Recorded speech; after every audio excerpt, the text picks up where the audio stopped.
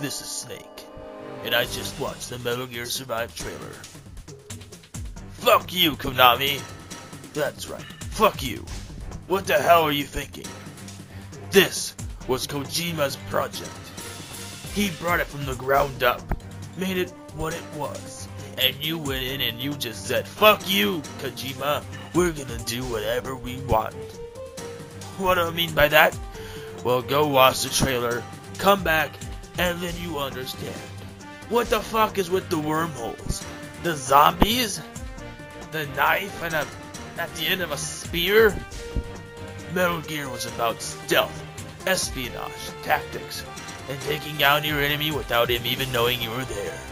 But no, this is a fucking survive! Metal Gear Survive! Well, I got three words to say to you, Konami. Fuck you, Konami! I already said that, but fuck you, Konami! Hashtag. I feel sorry now, because since I will no longer, probably no longer be in the Metal Gear series.